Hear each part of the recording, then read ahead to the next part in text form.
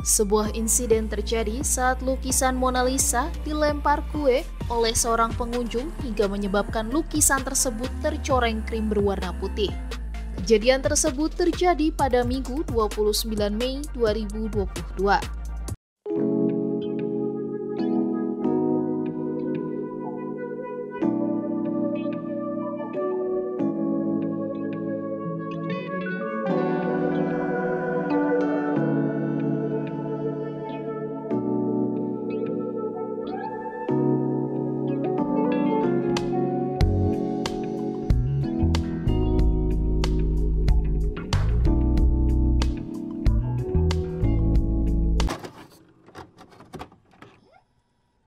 Bang, ini lagi rame kemarin Mona Lisa dideprak pakai kue. Kalau pendapat lo sendiri gimana masalah ya, itu? Mona Lisa kan bukan hanya milik si senimannya hari ini. Leonardo Iya, da Vinci. Mona Lisa milik gue. Milik lu.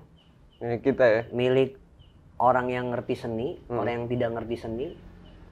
Ya gue sih ngelihat peristiwa itu peristiwa performan performatif. Ya ala-alaan lah. Ya. Kalau di bagian Mona Lisa Hmm, boleh direspon. Iya. Kalau hari ini dengan kuetar, dengan granat. Tapi dia bisa kembali seperti wujudnya semula, maksudnya tidak dirusak gitu. iya, Gitu. spesiali kan pakai bulletproof Nah, udahan. Keren itu. Ya tindakan yang menghibur, Hmm. memberikan pembelajaran. Kalau objek medium karya seni itu Hmm. eh, dengan maestro Leonardo da Vinci bisa direspon oleh siapa pun. Dia berinteraksi dengan ruang. Dia berintak, berinteraksi dengan publik gitu loh. Sama kayak ini lo inget gak bang waktu pas apa namanya banana tuh yang Iya. pisang di tape ada seniman yang datang dia makan malah. Iya.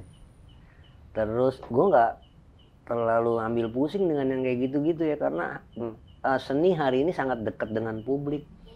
Kayak kemarin karya beberapa temen, Hmm. seorang teman ya Iya. di Museum Kebangkitan Nasional Stopia, Hmm. tuh ada yang ngerespon dengan tulisan karena karyanya Yoni Lingga kan. Hmm. Ada yang ngasih spidol, senimannya marah-marah, ya nggak punya hak juga lo, kecuali lo ngejagain karya lo di situ. Iya kan?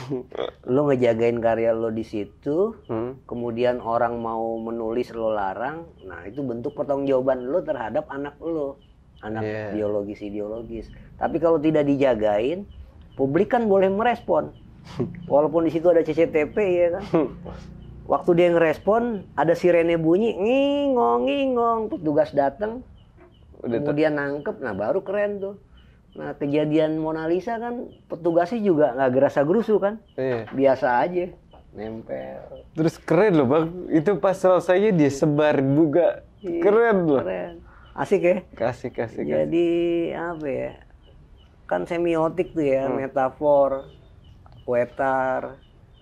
Ya dia menganggap eh, Mona Lisa sebagai eh, subjek dalam lukisan tuh bisa berdialog. Laper lo ya, gua kasih makan nih kuetar. Ya. Iya iya. Nah terakhir ditutup dengan bunga ya kan. Bunga. harum. Gimana pun juga Leonardo da Vinci dengan karyanya Mona Lisa itu harum dan juga udah ditakdirkan secara secara art ya kan dia bukan hanya milik negara itu Bukan cuma punya bukan Paris Mona Lisa doang. udah milik Bill Mohdor milik Art Corridor milik gua ya kan boleh Boleh bebas sih. Iya. Malah kalau gue ngeliatnya bang, berhasil itu karya. berhasil. Hmm. Dan bene, untungnya bukan cuma buat si pelaku, Iya. tapi buat si Mona Lisa-nya jadi rame banget kan. ada citraan arsip-arsip memori kolektif cerita setelahnya. Hmm. Kalau itu kan lampau. Nah, era sekarang hari ini era postmodern, Mona Lisa bisa diceritakan dengan generasi-generasi berikutnya gitu. Nah kalau Jenderal Sudirman dicoret-coret kemarin, patung Jenderal Sudirman dicoret-coret. Jenderal Sudirman dicoret-coret itu juga bagian dari pembelajaran eh, negara ya Hmm. untuk mengelola eh, kekayaan warisan di ruang publik lebih lebih paham betul dengan suasana atmosfer ruang Hmm. gitu jadi kalau orang coret-coret coret-coret ya nggak salah. Ya tugasnya negara untuk melarang tindakan itu kemudian memberikan solusi pendekatan yang terbaik hapus lagi kemudian memberikan batasan Hmm. terhadap karya seni di ruang publik yang tidak boleh didekati dengan material benda lain. Spidol kah, tip ek kah gitu. Untuk dipandal pengertian pandal sendiri kan Eh, merusak patung-patung ini apa cuman ke- kebetulan kemarin tuh ya bang, sorry ng- motong Iya. dikit. Kebetulan kemarin sebenarnya kalau di Jenderal Sudirman 5 menit dihapus kelar sih. Hmm. Cuman sama Mona Lisa beda impact bang gue ngelihatnya. Saat Mona Lisa kemarin ditimpa pakai kue, Hmm. Ya Mona Lisa hadir di ruang VIP ya, ruang Iya. terhormat ya. iya, Kalau Jenderal Sudirman hadir tidak di ruang terhormat, kita bisa Mm-mm. bedakan dua ruang itu ya. Kalau hadir di ruang tidak terhormat yang tanpa kawalan, tanpa advokasi negara, government untuk merawat legacy, Hmm. heritage patung itu, Republik tidak salah. Ya bisa jadi pertama kali dia kencing di situ, kemudian aman sampai pagi begadangan. Eh gue ada medium tip X, ada medium spidol, ya kan iseng ah.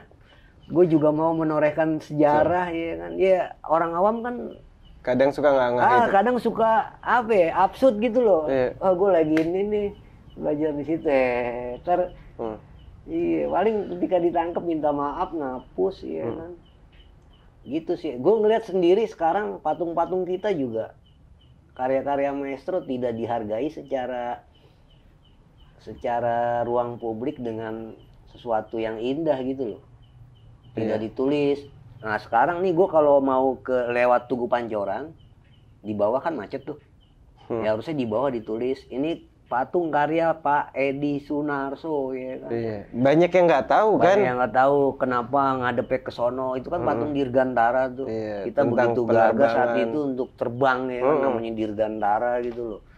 Pembebasan Irian Barat, Tugu Selamat Datang. Banyak juga Iya. generasi sekarang nggak tahu. Juga karena pembacaan mereka terhadap teknologi hari ini terlalu dekat dengan Google, Bill. Terus juga tugas. Tapi kan satu Lo juga. kalau jalan, gue mau ke Gang Asem, orang udah nggak tahu. Udah lagi ngeliatnya warung Pasar Google. Bengkok nggak ngeliat, udah ngeliat Google aja, nggak ngeliat identitas. Hari ini kita kehilangan identitas. Tapi pengenalan juga Nah, kurang ini bang. pengenalan. Pengenalan itu butuh identitas yang ditawarkan. Untuk di- Ah, biar kenal. iya. Anak gue biar tahu itu patung apa, siapa yang buat, tahun berapa. Nah, Kalau itu- perlu ditulis anggarannya berapa. Kan Nah, zaman zaman kurang zaman zaman itu aneh tuh, Bil. Orang bikin patung cuma disuruh. Diamanatin di daulat. Bil, lo bikin patung di sono. Siap, Hmm. Pak Presiden. Revolusi, pemimpin besar tertinggi revolusi atas landasan riang gembira Iya. senang. Jadi aja udah. Ah, ada banyak cerita juga diutang, Iya. ya kan. Seneng negara apa founding father kita seneng sama karya-karya itu karena hubungan waktu itu kan deket dengan Soviet dengan Cina, ya kan. Tapi emang condition juga kan bang. Bung Karno ngutang bukan karena emang ma- tapi emang condition waktu itu malah keren kan. Ya kerennya sekarang kepala-kepala negara kita dari mulai setelah Presiden Soekarno harus mulai ada pencapaian secara apa ya pembiayaan kebudayaan kreatif lah lebih memperhatikan itu ya kan dulu eh, Bung Karno pernah mewariskan dia ngomong ya Bung Karno kalau difoto belakangnya pasti ada lukisan Hmm. Nah kalau sekarang pejabat-pejabat kita ngomong belakangnya banner sampah, ya kan? Kurangnya nggak ada tis artnya nggak ada. Apa yang lu pikir dulu Bung Karno itu apa ya? Dia memajang lukisan sembarangan nggak juga. Itu Di- membawa api gitu diatur. loh, api ruang, api semangat gitu loh. Pak Harto aja bang, gue baru dengar ceritanya juga dari Pak Nyoman kemarin. Yang lo tahu yang apa namanya kereta kencana depan Galnas? Tahu? Itu karya permintaan Pak Harto Iya. ke Nyom- Pak Nyoman. Gara-gara kondisinya Kan itu dari Ceritanya sedih itu. Ih. Gak pernah diakuin juga Panyoman.